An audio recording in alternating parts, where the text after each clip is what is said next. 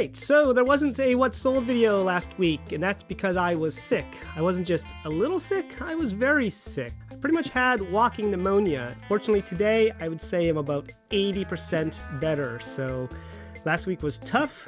I worked too hard, and I continued to make myself sicker, and gave myself the weekend to rest. I feel pretty good. So this week's video will probably have a little bit of last week's stuff in it as well as the week before since I skipped that week. And I'm also going to break up the video into two sections. I'm going to have a separate video now for my what sold stuff and then I'm going to have a separate video for my packing and shipping stuff. I realize my videos are getting pretty long. They're usually averaging around 14 minutes or so, and I don't think everybody's making it through the whole video and they're kind of jumping off at the halfway point. So if you're into both, you'll have to watch two videos. If you're into just one or the other, just choose the one you want to watch. Yeah, that's pretty much all I'm going to say for this week, and uh, I'm just going to be taking it easy, and I hope you all have a good week. This is a vintage hand-woven Navajo rug. It's what they call a Gallup throw, so it's smaller than a regular Navajo blanket or Navajo rug. This one's about, I think, 39 inches by 19 inches across. And it's got this kind of very distinctive, almost like a fringe, but Navajo rugs and blankets typically don't have fringes, but it's where they tie off the, uh, the binding thread, I believe. And it makes this kind of edge, which almost looks like someone cut off the fringe, but it's not the case on this. And this piece here I found at a walk around auction. Funny enough, I saw it in a photo advertising for that auction. It was just buried underneath a bunch of stuff and just a little corner of it stuck out. And I could just see that it was a Navajo blanket or a Navajo rug. And I went there to hunt it down. And this place is a hoarder's paradise. It's in the basement of a restaurant that they turn into, it's an old pub, I guess. And they turn it into an auction every Wednesday night and it's dark. You got to hunt around with a flashlight. It's it's full of all sorts of crazy characters. Uh, it's a real it's a real scene. And so I hunted around trying to find it. I couldn't find it anywhere. And finally, I discovered it about probably about five or ten minutes before the auctioneer got to the table that they're about to sell. And I pulled it out, and uh, I ended up getting it for five bucks. I don't believe this is an antique one. I'm not entirely sure, but I listed it as vintage, and it's in the Germantown style.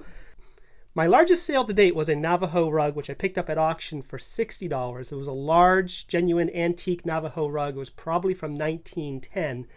And I ended up selling that rug for $1,200. So when I do come across Navajo rugs, I usually will go for them because there is really decent money in these. This one here, I paid $5 for, as I said and I had it up for $249 and I went back and forth with a lady on it and she was asking if I had any authentication papers and I said no just as it is I said. And so she said if would I be willing to take 150 so I said sure that's fine. So this sold for $150 this is a lot of seven used cassette tapes and I grouped all these together because they are all type 4 metal tapes. So these are kind of the higher quality tapes that often real audiophiles are looking for. This one here says bar music, something, bar music mix. These are all pretty scuffed up and uh, at least the cases are. I did not listen to any of these, but they all appeared to be in working condition. And I've learned from Steve Schultz and on the Scavenger Life podcast that tapes tend to do pretty well, and there are people out there looking for these things. So I picked these up under under the table at a walk around auction. It was just a shoebox. Nobody saw it. I got it for $2. And these here, these seven sold for $50. This is a U.S. Army military bar. I believe it's World War II. And these are victory ribbons for various military campaigns. I did look them up and ended up put, labeling them as such. And this came from one of the various World War II kind of military lots that I've purchased over the years. And I can't really remember what I probably paid for the lot, but I am sure I've made my money back several times on it. So anything else is just real profit. So this piece here, not a ton of money, just $12. This is a vintage Elgin Sportsman watch. It's a 17 jewel watch. And Elgin watches can typically have a little bit of value to them if they're in good condition and they're working. This one here actually does work, but it's missing the second hand counter that's supposed to be on that little dial there on the right where the six would be. and it's just got some damage. It's rough overall, so this really didn't have much value to it. I tried to sell it for about $32. I got somebody who made an offer of 11. I brought them up to 15, and I'm just happy to sell it at that price. This watch came in one of the various watch lots that I purchase from time to time, and usually I pay about 15 to $30 for those lots, and I usually receive about 50 to 100 watches. Many of them are broken, and many of them need new batteries. There's a little bit of work involved sometimes to sell them, and a lot of them I just kind of lot out together as broken watches. But uh, overall, it's just kind of fun. You learn about watches and stuff like that. This is an Italian sterling silver curb chain anklet. It's about 10 inches. It's Mark Sterling and also DES there, and it also has a mark for Italy. And this chain I found in the trash and I sold it for $15. This is a couple pieces of vintage cloisonne enamel on brass or enamel on copper plates. They're just small. They're about three and a quarter inches across. And I got a bunch of these in a tray lot at auction. I can't remember what I paid for it, but most tray lots I pay usually less than $20 for. And these, I remember, were not the choice pieces in there, but there was about 15 or 20 of these, uh, all in different colors, some different sizes, and I listed them all up. Uh, some of them I've been pairing up, some of the bigger pieces I've been selling separately.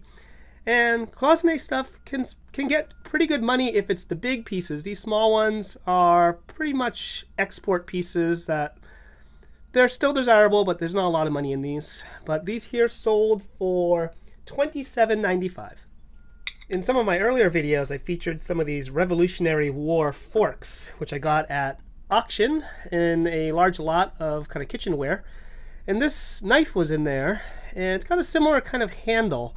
It's a bone handle and this says shear steel on it. And so I wasn't sure if this was also Revolutionary War era or not, but I put it up anyways and I just put Revolutionary War question mark basically uh, just my best guess since it was in that same lot and this here sold for $18.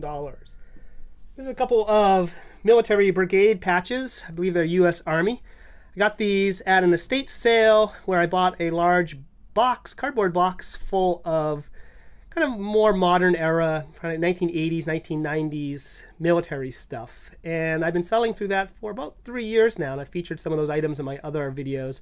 I don't have a lot left, but I have a bunch of these patches, probably about 50 of them, and I've just put them up as pairs, and every once in a while one of them, one of these lots sell, and so these here were $6.95. Not a lot of money, but I do have a lot of them, so when they sell, I buy sterling silver dinnerware at auctions from time to time, and often it will come on these large tray lots of just kind of random pieces. And this piece here came on a tray lot. It was probably about 50 pieces of silver. Some of them were matching pieces, and some of them were just odds and ends. And if I take the time to research them, figure out the pattern, the, the maker's mark, and then list them accordingly, they can sell for pretty good money from people who are looking to replace, say, a missing piece in their dinnerware set. So this here I got in a tray lot. It was about 50 pieces in it, and I paid probably about $80 for it. And I've sold a bunch of pieces from this tray lot already. This one here sold for $34.95. And it's a bit long tail. It takes a little while for these pieces to sell, but it's one of those things they kind of they just sell here and there pretty regularly. It's pretty easy to make back my initial investment. I keep these in bags typically after I kind of clean them up. If they're really filthy, I'll just put them in a bag because they do take a little while to sell and they will get a little bit oxidized and start to tarnish. So the bag kind of keeps them looking a bit nicer.